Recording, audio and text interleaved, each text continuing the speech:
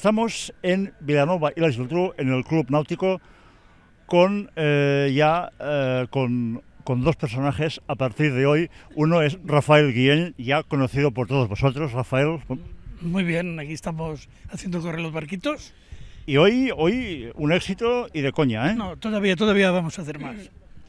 Vamos a darle más. Es el inicio y mañana más y pasado y el otro porque eh, lo, que, lo que hoy se ha hecho eh, pocas veces lo hemos podido ver. Relativamente, eh, pues sí. En las veces que lo hacemos nosotros es cuando se ve, si no, nadie lo sabe. Y aquí, en un club náutico, ha sido la primera vez que en 13 años que llevamos hemos aterrizado. Lo que quiere decir que para nosotros es, vamos, el no va más, porque es el barco grande meterse mejor dicho, el pequeño meterse en el lugar del grande eh, y hacer cosas parecidas a lo que hace grande, pero en pequeño. Es así un trabalenguas, pero el que está acostumbrado a un verbaco grande no asimila que eso tan pequeño pues puede hacer. Entonces la cabeza empieza a pensar y todo el mundo dice, ¿cómo lo harán? Y esto es lo que queremos nosotros, que la gente se, se encarrile por ahí. Y es que la, la novedad, la novedad eh, es, ha sido que a medida que, que, que cada modelo iba navegando, se, iba dando una explicación de aquel modelo en concreto. Sí, bueno, intentamos hacerlo, lo que pasa es claro, para que pudieran salir todos, hemos hecho un pequeño esquema de cada uno. Ahora, esta tarde haremos una exhibición ya más concreto de cada uno y nos vamos a ascender un poquito más. Eh, o sea, lo que hará, en fin, ahora ha sido un parente, un, un, índice de lo que hay. A la tarde nos vamos a entrar más porque si nos entramos esta mañana hubiéramos podido salir nada más dos. Y esta tarde vamos a entrar más y quien realmente ha disfrutado, porque lo hemos visto disfrutar incluso con chorrito de agua ah, incluido. ¿eh? el, el, bautizo. Exacto, el bautizo de mar. Sí, bautizo o de piscina, mejor de dicho. De Así, exacto, del club. Ha sido la consejera de Cultura del Ayuntamiento de Villanova y Les Geltrú, Marillo. Marillo, bienvenida. Hola, muchas gracias, buenos días. ¿Qué, qué te ha parecido? ¿Esto no, no lo habías visto no. que tú recuerdes, ¿no? No, no, no, la verdad es que no. Impresionada, ya lo he dicho antes, impresionada por uh, la, la, calidad, la cualidad, uh, el detalle, uh, la pasión, Uh, en fin, todo ayuda a, a, a, quedarte un poco impresionado y ver que la y intuir la paciencia que hay detrás de todo, de todo esto, de toda esta fabricación, de toda uh, la, la, búsqueda de la historia, del detalle, del porqué, bueno, impresionada en todos los niveles y además la perfección, ¿eh? la perfección que hemos visto en esta, me lo he pasado muy bien. ¿Y cómo ha sido que el ayuntamiento junto con el Club Náutico os habéis liado con los amigos de la Federación Catalana de Modelismo Naval? A ver, cuéntanos un poco porque esta, esta involucración, involucración tiene, tiene mucho de positivo. ¿eh? Sí, a ver, esta ciudad, Vila, Vilanova, cercana a Barcelona, en la costa, tiene una historia de mar uh, de, de bueno, de, sí, sí. ya del, tenemos aquí un poblado ibérico que ya estaba instalado aquí en esta zona, por lo tanto, una población vinculada a, al mar o a, a, desde siempre. Pero sí que durante mucho tiempo se ha vivido un poco de espaldas al mar. Uh, hay este club náutico, hay una flota pesquera importante, pero no se le ha dado la suficiente importancia.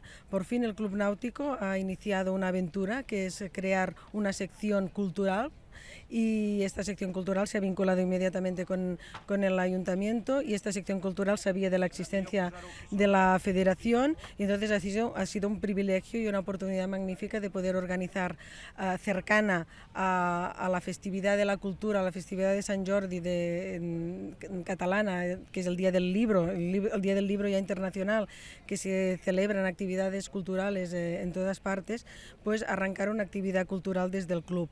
Y esto yo entiendo que es una actividad de ocio, pero también es una actividad cultural en todos los sentidos, porque aquí explicamos, uh, con todas estas maquetas que hemos visto y las que podremos ver, explicamos la historia uh, de la navegación, al menos la más reciente, uh, sí, sí. ¿eh? y, y, podemos tirar algún, algún, ciclo, algún siglo atrás. ¿no? Por tanto, es una oportunidad para acercar la gente a, a, lo que es la navegación, a lo que es el mar, a lo que nos puede llevar y además atraer hacia la ciudad y la importancia que puede tener, además de, de un aspecto pedagógico y lúdico importante. Por tanto, mm, todas ponen y definitiva es una satisfacción poderlo organizar y un lujo y un privilegio teneros aquí, que existáis. Si no, tendríamos que inventaros. Eh, dicen que en tiempos difíciles hay que agudizar el ingenio. Sí, nosotros eh, intentamos lo habéis visto en las maquetas en, el agua, ¿no? Si nosotros ponemos las maquetas que prácticamente es un barquito que navega, pues vale, está bien, pero le falta que hablen, lo que digo yo es que hablen. ¿Cómo hablan? Pues haciendo, agudizar el ingenio del modelista para que tenga un atractivo. Claro, eso cuesta lo suyo, porque claro, tienes que buscar aquí la idea, la forma, lo conseguimos, lo hemos logrado después de muchas horas de trabajo y cada uno, cuando ya hacemos una maqueta, lo que le buscamos es el ingenio. Si no puede tener nada de ingenio, mm, no porque queda muerta.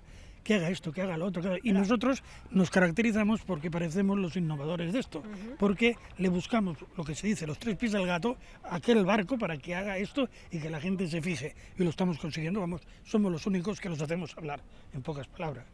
O sea, ahora habéis visto que, ya lo veréis más adelante, en las próximas, eh, lo que vais a ver, porque ahora habéis visto una muestra, pero nada más le falta hablar. Yo creo que es una actividad que abre muchas puertas uh, en el sentido de, de, poder involucrar este tipo de, de asociación o de federación uh, en muchas de las actividades de la ciudad porque acerca un sector, acerca un ambiente, pero además consigue una cohesión social uh, y abre puertas a la formación, a la formación de, de la gente, ¿no? la, la, educación en definitiva y poder abrir que algún chaval se fije eh, en estas maquetas y se pueda imaginar que las pueda llegar a realizar, pues esto es, es increíble. Yo creo que es una lección, una, una gran lección de alta pedagogía, lo que podemos hacer a partir de, de gente como vosotros, de, de, vuestro colectivo.